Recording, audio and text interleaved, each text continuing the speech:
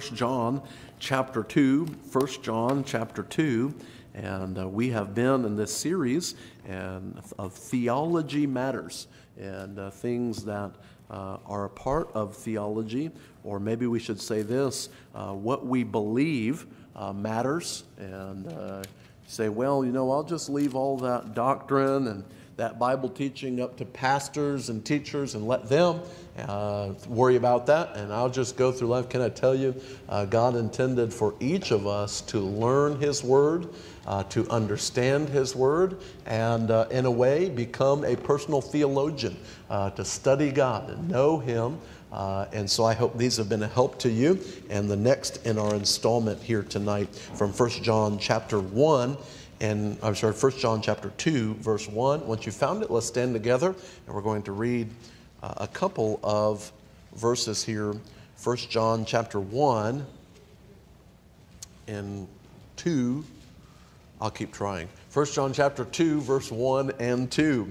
My little children, these things write I unto you, that ye sin not, and if any man sin, we have an advocate with the Father Jesus Christ the righteous, and he is the propitiation for our sins, and not for ours only, but also for the sins of the whole world.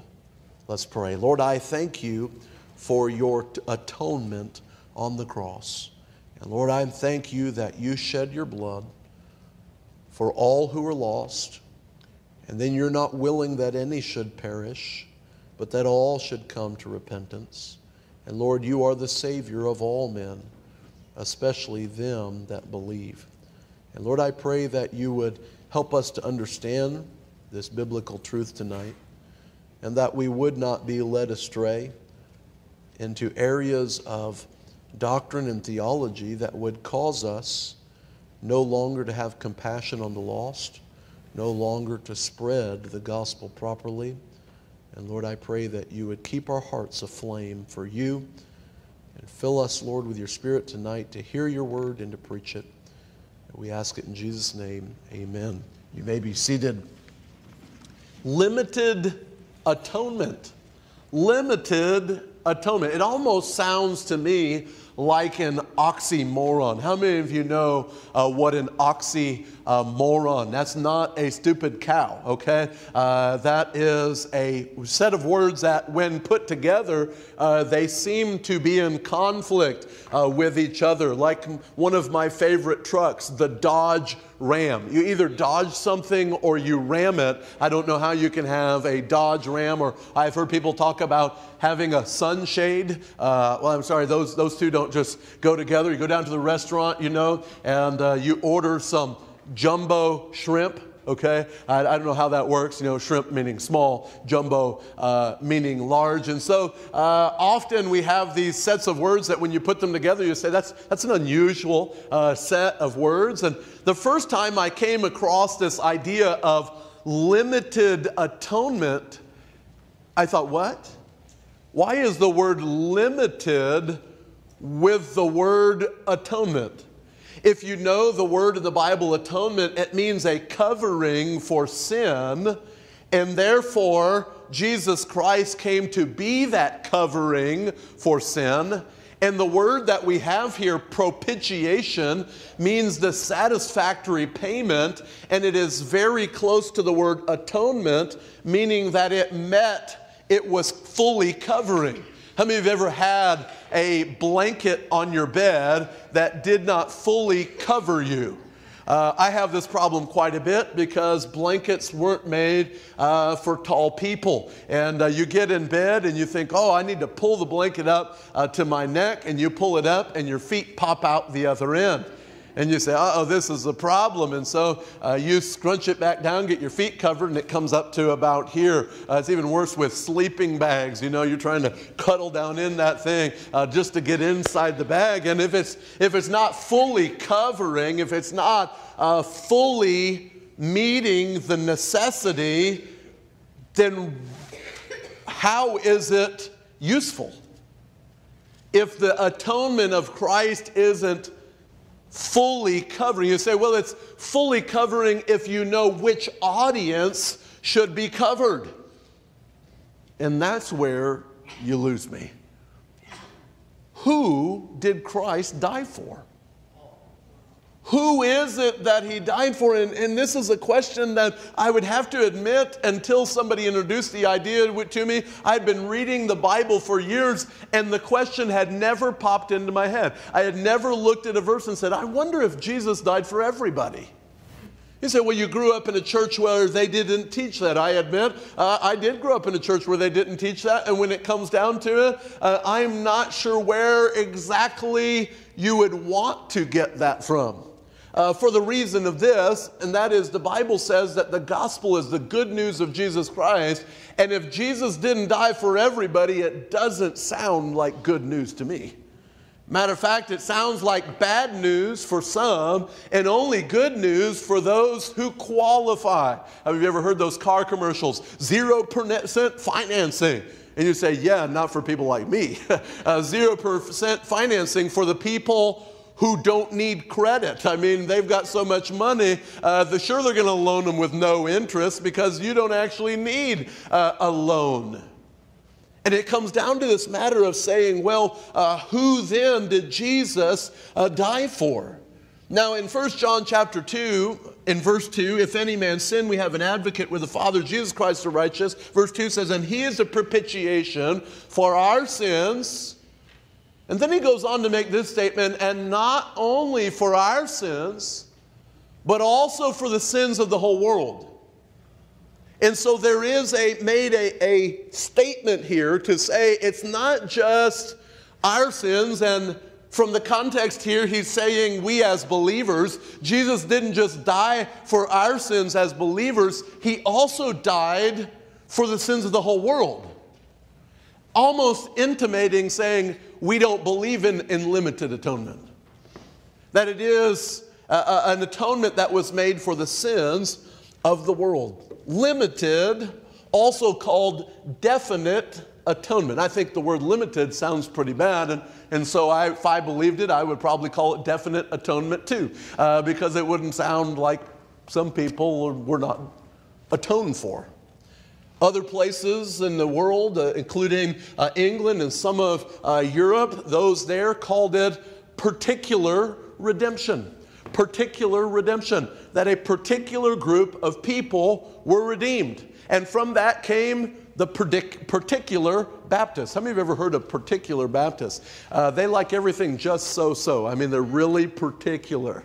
Uh, I'm just kidding. That's where the history uh, of the particular Baptists, as opposed to those who believe that the atonement of Christ was for all people, and they called themselves the General Baptists. And so the General Baptists went on, uh, and many different Baptist groups came out of that. And so there was this divide of people, both calling themselves Baptists. One who's saying, No, no, Jesus did not die for everyone. He died for a particular group of people. Uh, and the other saying, No, Jesus did die uh, for everyone, and the redemption was made in general and received in particular. Hmm. What is limited atonement? Well, those who are proponents of it would state it this way If Christ died for the sins of the whole world and redeemed the sins of the whole world, then were all the world saved. If he died for them, then the whole world must be saved. So if he died for sins, then every sin that he died for was redeemed. Therefore, if God decided to punish that person? He could not because it would be double jeopardy. He would have said, Well, Jesus died for the sins here, but now you're going to die for your sins. And the idea then is that Jesus died for these sins, therefore, every person's sins that he died for have been paid for, and God could never hold them responsible for it. When you think about it that way, it kind of makes some sense. People don't espouse Christian beliefs because they're wacko and crazy.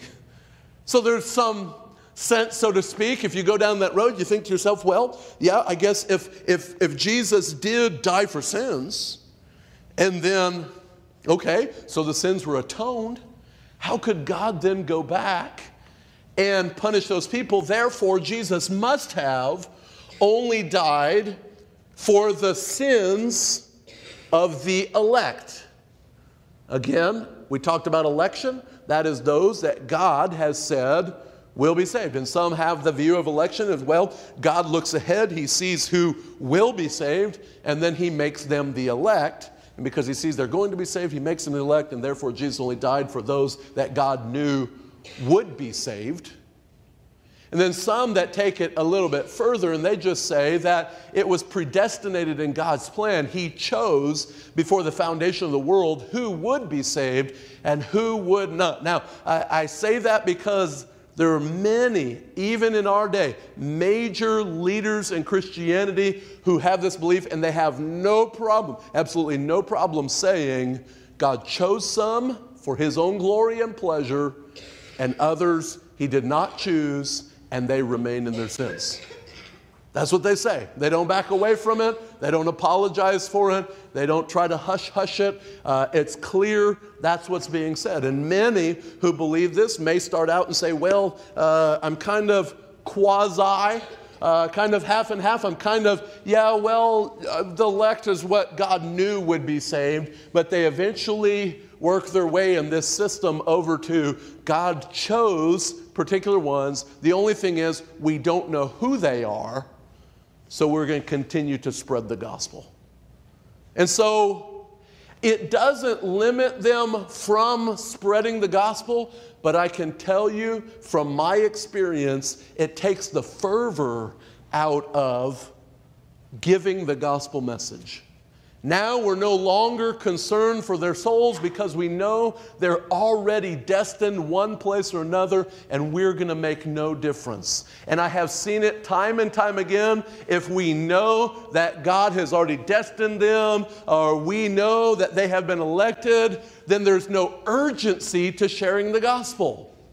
Now, can I ask you, when Jesus commanded in the Great Commission to share the gospel, did you sense any urgency in his voice? Did you sense any urgency in his words? Did he say, Go and inform the world of these things? Or did he say, Go and preach the gospel?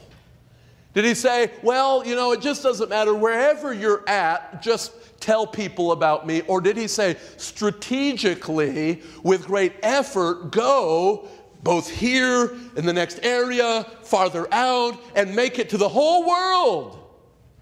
Why would he say that if people were already destined one way or the other? And so the many who have gone down this path of limited atonement come to this point of saying, well, they need to hear the gospel, but I'll tell you, and, and this grieves my heart, the appeals to hear the gospel are pretty much the saved preaching to the damned, rather than a sinner saved by grace trying to reach another sinner so that they might be saved. And the tone changes, and the attitude changes. And this is where I begin to look at this and say, okay, uh, let's go back to the Bible and ask ourselves the question Is the Bible teaching that Christ only died for some? And I think it would be important then for us to go to key passages that they bring out and say, here is a key passage showing that Jesus died for some. Go, if you would, to John chapter 10. John chapter 10, when Jesus shows his care for us in an analogy to a shepherd. How many of you read John chapter 10 and uh, called uh, the shepherd's? Uh, if I can remember what it was called, I'd tell you. Something about a shepherd. The shepherd's discourse, the pastoral discourse. I'll come up with. I'll make up something that'll sound really good, uh, and then you'll repeat me and find out it's wrong. John chapter 10, verse 14 I am the good shepherd, and know my sheep, and am known of mine. As the Father knoweth me, even so know I the Father, and I lay my life down my life for the sheep. I laid down my life for the sheep. The idea here uh, is of sheep that are in mixed herds. Understand what I mean by mixed herds? There's several owners of the sheep. And shepherds, as they would be out on the hills and the sheep would be grazing together, the shepherd could speak, and it's still this way today. Shepherds will speak, and the sheep respond to the voice of that one shepherd. Matter of fact, it's one of the few animals that when uh, the, the herder speaks to them, they draw themselves immediately. And they say it's even startling. Uh, I've seen it happen in a small fashion, uh, but they say it's really startling, especially if you have a couple hundred sheep and the shepherd will come out and will say something, and all the sheep will immediately crowd to the fence right where the shepherd is, like in a stampede, and then they stop and they stare at the shepherd. Uh, and so they know the voice of the shepherd, okay? So he says here that that my sheep, they know my voice, and I lay down my life for the sheep. Let's go down a little bit further here, uh, these verses being pointed out uh, for this reason. Jesus answered them, verse 25 Jesus answered them, I told you, and ye believe not. The works that I do in my Father's name, they bear witness of me, but ye believe not because ye are not of my sheep, as I said unto you. My sheep hear my voice, and I know them, and they follow me, and I give unto them eternal life, and they shall never perish, neither shall any man pluck them out of my hand. And so uh, is given the idea here that people are either sheep or, does anybody know the other one? Goats. And so we're born into this world, some as sheep, and they will hear the shepherd's voice, and some as goats, which will not hear the shepherd's voice. And so the term is used, they're given spiritual ears. And you've read Matthew chapter 13, him that hath ears to hear, let him hear.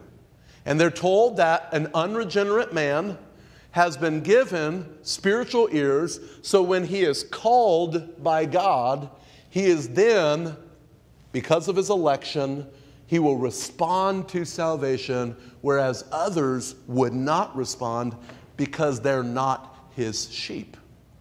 Hmm. Interesting thought. Let's go to Matthew chapter 25 then. Matthew chapter 25. I do not deny that there are well crafted arguments, and the reason that so many fall into these things because the arguments are well crafted. But to accept the premise, the premise that him saying, They're my sheep, I give them eternal life, I die for them, means that they were born as sheep. And there didn't come a point, you say, Well, you're either a sheep or a goat. Um, well, except for the Bible says you pass from death to life that he says the old man dies and God makes a new creature. That we are entirely changed at salvation. And so we've got to start to think and say, is the premise of it okay? Because if we just take the premise, then we may run down the wrong path. We've got to ask ourselves now, wait a second, based on the premise of it, is that what Jesus was trying to say? Matthew 25, again, Jesus speaking, is he talking about the sheep being the elect, or is he talking about the sheep being the redeemed? Let me say that's an important question. Are they the elect, or are those who are redeemed the sheep?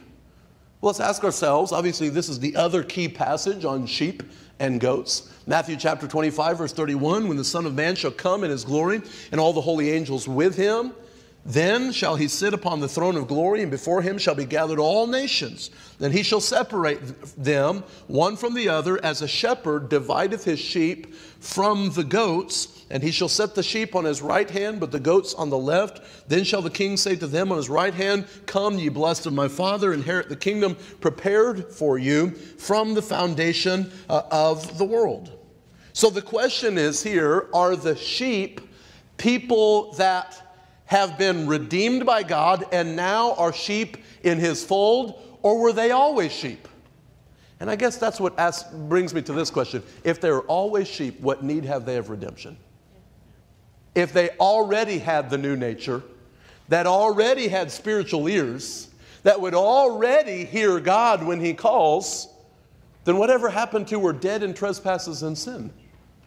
Whatever happened to the fact that uh, our nature uh, is dead uh, and we need a new, alive nature? And I'm sorry, for those of you who are following this over the several weeks, you can't have total depravity and say we're totally dead and unable to respond, then afterwards say, oh, but only the elect can hear because they have spiritual ears. You get to choose one. You get to pick one. You can get over here and say, well, they couldn't hear a thing, and that's why God had to elect them. And if they are already that way, what have need of they of redemption? In other words, how we view the Bible, how we read the Bible, and let me say, what assumptions we are willing to make about what's being said. By the way, if you go back to John chapter 10, you find out that Jesus Christ is talking to unbelieving Pharisees. And he said, The miracles that I've done, they've testified of me, but you will not believe. Hey, by the way, if they did believe, what would happen? They'd be saved. And then what would happen? They'd believe his miracles, and then what would happen? They'd hear his voice, and then what would happen? Well, they would follow him, and then what would happen? Uh, they would be of his fold. Uh, in other words, all things are fulfilled in that if they would believe. But this matter eliminates the necessity of believing. Matter of fact, faith in itself has said that God, I'm, I'm simplifying a little bit for illustration, but God reaches inside of us and kind of has faith back at himself through us. That's kind of the description, very, very oversimplified. But that we have no ability to have faith, and so God comes upon us by his irresistible grace. It's placed in us, and then we have faith back that he put in our hearts, and we would have never believed. And so it comes down to this matter of saying, uh, what is the background of this? Uh, you know, the atonement of sins. Let's go back again, and, and, I want you to reference it because I know my brain jumps all over the place, but I don't want to assume yours is jumping in the same places that mine is. So let me go back and reference again 1 John chapter 2 in verse 2 1 john chapter 2 verse 2 he says and he is the propitiation for our sins and not for ours only but also the sins of the what the sins of the whole world. I, have I've heard this said one time. Well, you have to understand, not one drop of blood that Jesus shed on the cross was wasted. Can, can I say this? God didn't gather up and say, okay, one drop for your sins, one drop for your sins, one drop for your sins. The Bible says the blood of Jesus Christ, the collective blood of Jesus Christ, was the necessary payment for sins. It wasn't parsed out. It's a little bit for everybody. You didn't get a little bit of the blood of Christ covering your sins. You have all of the blood of Christ covering your sins. You see, because we know the history of it. We have an Old Testament. Aren't you glad for the Old Testament that carries out in pictures what would happen when Jesus Christ came as a sacrifice. So we say, well, well, how did this happen? When was the propitiation made? Well, the propitiation was made when the blood of the lamb was spilled, and they took the blood in and they made a sacrifice for how many of the people in the nation? Oh, all? For all of Israel? All of them. And so they would go in and, and they wouldn't say, well, there's one drop for Judah and one drop. No, they put a, an atonement, which was a covering. And how many remember that they took the blood and they covered the mercy seat with it? And that was symbolic of the sins being covered, that God saw that covering and would see the sins no more. Now, John 1 in verse 29, we hear John the Baptist saying, Behold the Lamb of God, which taketh away the what? Sins of the who? Well, here it is again. It keeps popping up this world. The sins of the world. He, he is a propitiation, not for our sins only, but the sins of the whole world. And then John the Baptist says, Hey, behold the Lamb of God, which taketh away the sins uh, of the world. Well, then the history uh, of the sacrifice then lets us know about the atonement. Second Chronicles 29 Hezekiah, as he is directing the people, so the sons uh, of Aaron, they come and they kill the sacrifices. In verse 24, 2 Chronicles 29 24, and the priests killed them, and they made reconciliation with their blood upon the altar to make an atonement for all Israel. For everybody. So we have to understand, you know, well, that was Israel, and then there was the rest of the world. Okay, I get you on that, except for here it says for all Israel, and later it says for the whole world. So in the Old Testament, the picture is my people Israel. In the New Testament, he says the whole world. He didn't say, well, this group of elect, that is like a picture of Israel in the world. It didn't say that, it says the whole world. He says the atonement is for a group that is the size of the whole world. So we see founded in the history of the sacrifice. So that brings me to this question Who is the world? Who is the world? Who would you be saying if the Bible says that it's for the sins of the whole world? Who is included in that?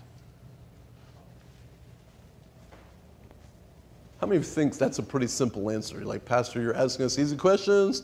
Obviously, these are for the kids. That's why I'm not answering. We'll let the kids take a shot at this one. Uh, if he died for the sins of the whole world, who's included in that? Aliens not, because they don't live in the world, okay? But I would dare say the population of planet Earth, and obviously not in the time only when Jesus was on earth, because he was commanding them go tell the world after he was going to be taken up into heaven. And so, therefore, we understand that his salvation was extended to the end of the world as he gave his commission that he would be with them to the end of the world. So, it begs the question what does he mean by world? How many of you say, why do we have to ask that question? That's a, that's a simple one. But can I tell you, these are the questions that are being asked. For those who espouse this doctrine of limited atonement, they would ask you, well, what do you mean by the world?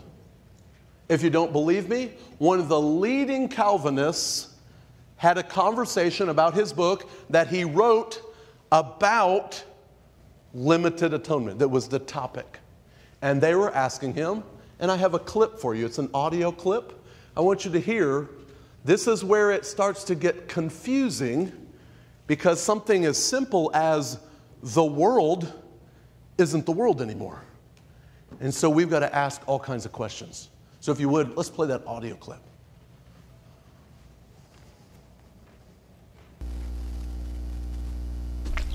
This morning I was reading in First John a a very um, common verse opposing definite atonement or limited atonement, and so uh, I thought I'd, I'd, throw together these two my thoughts from my devotions and my response to some of these um, reviews like this. Um, my main response is to encourage people, everybody who's listening to this, anybody who reads the book, reads their Bible, reads the review, whenever you uh, hear somebody make a comment about the death of Christ, be sure that you ask, What do you think that means? In other words, if somebody says, Jesus died for all people, fine, I'm not going to disagree with that until I ask, what do you think that means? So when, when you're in an argument or a conversation with somebody about the extent or the effectiveness of the atonement, don't, don't um, smash each other with slogans. it's useless just to keep saying, he did die for everybody, he didn't die for everybody, he did die for everybody, he didn't. Well, that's just useless. You got to stop and say, what do you mean when you say he died for everybody? The controversy around this doctrine, it seems to me, perhaps more than any other, starts spinning its wheels on the ice, getting nowhere because people are quoting verses to each other without asking, now what do you, what do you think that means? So, for example, I was listening to my father preach last Sunday. He's been in heaven for six years. And I've got numerous recordings of his preaching. I love to listen to my dad preach. So he's preaching a sermon called The Secrets of Spiritual Power. My wife and I are listening uh, at a bed and breakfast where we were celebrating our 45th wedding anniversary. And he suddenly stopped and said, Do you believe Jesus died for everyone? Aren't you glad Jesus died for everyone? I just loved it. And, uh, and we looked at each other, Noel and I looked at each other. The next thing out of his mouth was this For God so loved the world that he gave his only begotten Son, that whosoever believeth in him should not perish, but have it. So immediately, I know exactly what my father's thinking. He's thinking, Jesus died for everyone in the sense that everyone who believes will be saved, which is exactly what I believe. How many of you say that uh, is an amazing twisting of words there? Well, what do you what do you mean when you say Jesus died for the whole world? What do you what do you mean by that? How many of you say I thought the meaning was pretty clear, pretty straightforward? When the Bible says Jesus died for the world, there needs to be no qualifier. Matter of fact, this man, probably one of the two leading proponents in America of Calvinism, who's heard often uh, and around the world on this subject, there chuckles at his dad, who, by the way, was not a Calvinist, because when his dad said, Aren't you glad Jesus died for the whole world? he chuckled. And I, I, just want to say this for those who believe this uh, stuff, they often, in arrogance, chuckle at your ignorance and mine. And I find that disturbing. I find it disturbing that he would chuckle at his dad's statement. I, I, just say, I'm just saying, when it comes down to when I say he died for the whole world, it's that simple. You see, when we start to take very simple passages and try to make them much more complex so that they fit more difficult passages, we've gone the wrong way. When we take a difficult passage and we say, you know, this is hard for me to understand, but I can go back and interpret it with the very clear statements from the Word of God. The very clear statements of the Word of God will help me know what this more difficult passage means. Then we are using the right approach to Scripture. Unfortunately, there are those, in order to fit their view of the Word of God will change the simple statements of Scripture and say, well, I mean, you say he died for the whole world, but I mean, what do you mean by that? And I would respond to that exactly what it says. I need to add no further explanation because it's what Jesus said. And I'm very confident that if Jesus wanted us to know otherwise, he didn't misspeak he would have said, For God so loved the world of those who have been chosen and are elected to receive the predestined salvation that he gave his only begotten son. Anybody believe that Jesus misspoke? And to try to read into a passage about Jesus speaking as a shepherd and say, well, you have to understand sheep, uh, and that means, and therefore, and read that in, and just go right over and gloss over the clearest statements from the Word of God, can I tell you, friend, it's to do an injustice. And the Bible says that the faithful steward of God will rightly divide the word of truth. You say, who was on that video? Well, he's a leader. If you ever run into him, I hope it's not the person that you will be bothered by, but the teaching. Uh, we don't need more division in Christianity and hating this person or downing that person. I'm just saying, when you hear that teaching, you ought to go, you know what? I see that they believe in limited atonement, and I don't believe what that because the Bible says clearly that Jesus died for all. He said, Well, there's some more difficult passages that I would love to speak with you on. I as well would love to talk with you about them. But can we never go over the clear passages?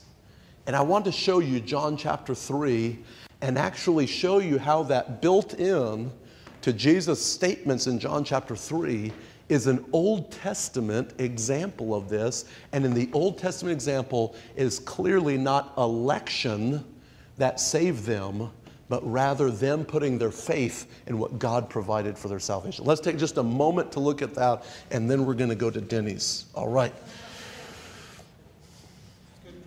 John chapter 3, I'm going to do it. I'm going to go to John 3 and we're going to take a running start at John 3:16, all right? John chapter 3. By the way, many times people will chuckle and even uh, mock a little bit your place and where you stand in your faith. Don't let that shake you. Don't let that shake you. If you're standing on the Word of God, let them laugh. Let them laugh. If you know what God's Word says. Now, if we're woefully ignorant of what God's Word says, we would have something of which to be ashamed. But if we've gone to God's Word and built our beliefs on the Word of God, and, and I'll tell you what, many of us in time will come to realize some of the things we thought about the Word of God weren't exactly accurate. You know, I, have heard people say that, you know, uh, neither a lender nor a borrower be. That's what the Bible says. It, it actually doesn't say that. Uh, and, you know, as long as you don't have 15 divorces, the Bible's okay with it. You know, it doesn't say that either. So uh, there's a lot of things that people attribute to the Bible. We need to know God's Word. But when we know it, uh, we don't have to be ashamed of it.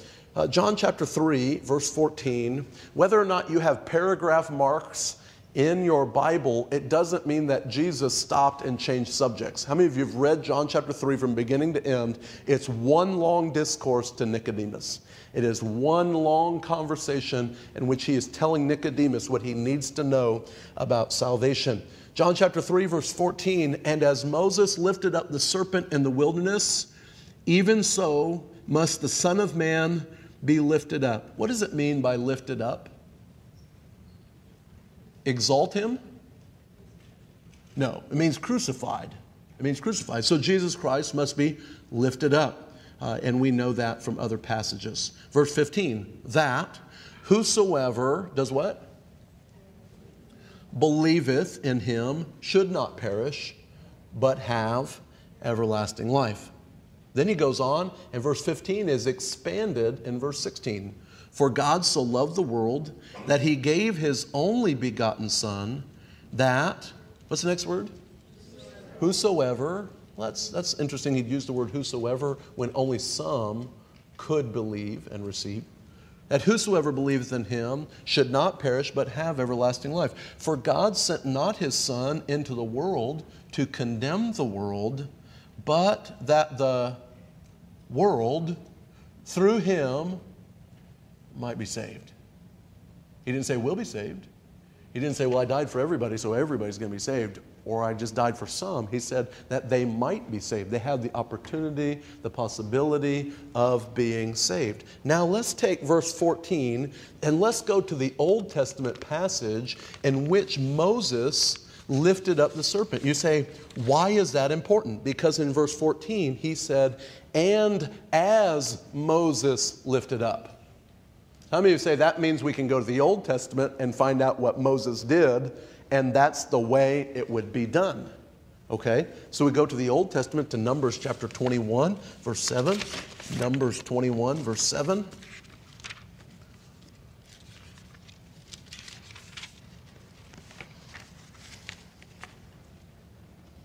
Numbers 21, verse 7.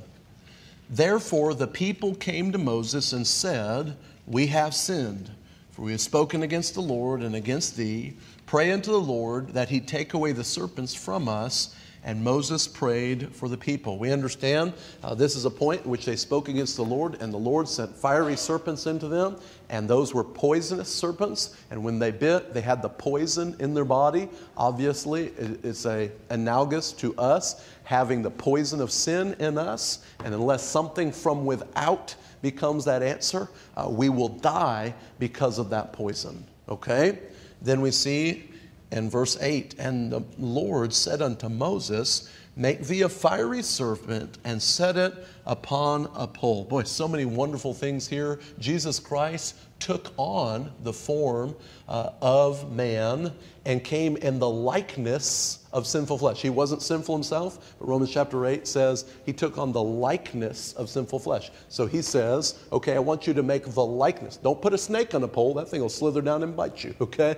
He said, but make the likeness of the snake and put it on the pole and raise it up before the people. How many of you know that the sign for healing in our medical industry is still that? Uh, you have the pole with the, the serpent uh, around it. And so uh, in verse 8, he says, Make thee a fiery serpent and set it upon a pole, and it shall come to pass that everyone that is bitten shall live.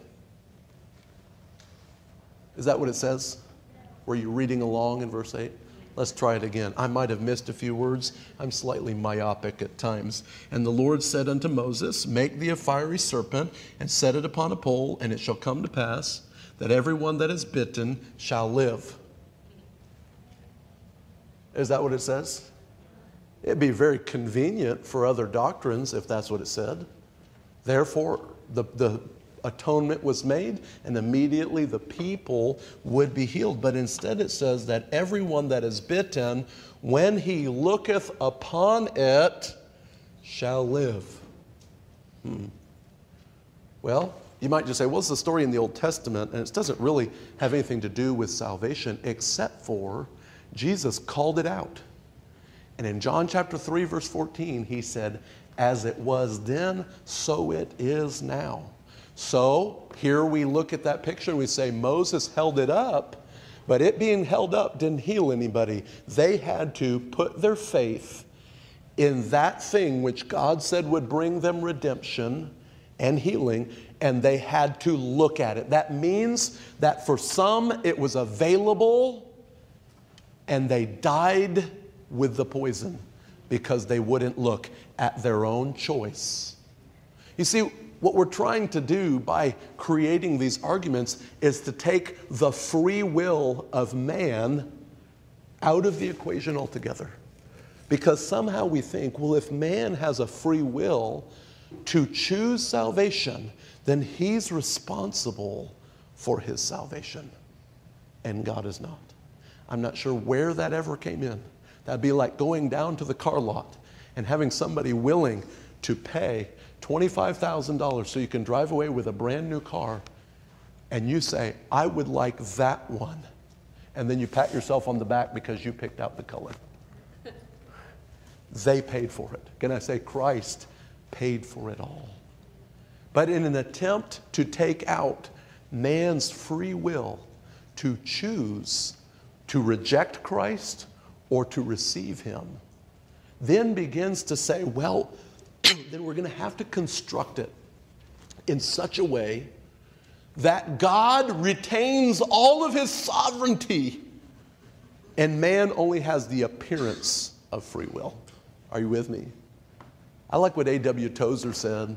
He said, There is a God so sovereign that he can afford man free will and not lose his right of sovereignty. Think about that. He said anything less than that would not be a sovereign God. Anything less than that. Well, I, I can't let them choose because then I won't be sovereign. So I'm going to make them all mechanical robots, and I retain my sovereignty that way. Can I tell you, God is sovereign? God is awesome. Have you noticed that God is awesome? Have you noticed that God could let Joseph get sold into slavery and still make him the king of Egypt? I mean, uh, haven't you noticed that God isn't hindered by Babylonian kings to make his man Daniel stand as a testimony in heathen nations? Haven't you noticed that God is not hindered uh, by the wicked plans of man trying to imprison uh, the apostles? Yet uh, their testimony abounded more and more and more and more. God used it. You see, the, the will of man, it's not a problem for God. He's that sovereign. He's that powerful. He's that able. And so he said, I'll pay the price for the sins of the whole world. But those that believe will have that applied to their account. The book of Romans says it's imputed. You know what happens beforehand? It's paid, but that thing hadn't been imputed It's true. There's some conflicting doctrine. See, when you wade off over into this one and go, well, if Jesus died for everybody, then everybody'd have to be saved. No, not until God imputes it. And the Bible says it was imputed when Abraham believed God. And then it was counted to him because it wasn't Abraham's righteousness, it was the righteousness of Christ. So it wasn't applied to him until he believed. And then God said, okay, mark it on his account. How much blood do we give him? All of it. All of the blood covers all of his sins. We're not doling out blood samples to everybody. The blood of Christ covers sins. And listen, when we trust him for salvation, then it covers our sins. And the righteousness of Christ is imputed to us when we trust him. Let's pray. Lord, I thank you. Thank you so much for dying on the cross for all of our sins. And Lord, I'm thankful that there are still people out in this world that don't know you, who've never heard of you, and yet you've died for their sins. And it's just waiting for a time when a Christian will come and take the glorious light of the gospel so that they may hear it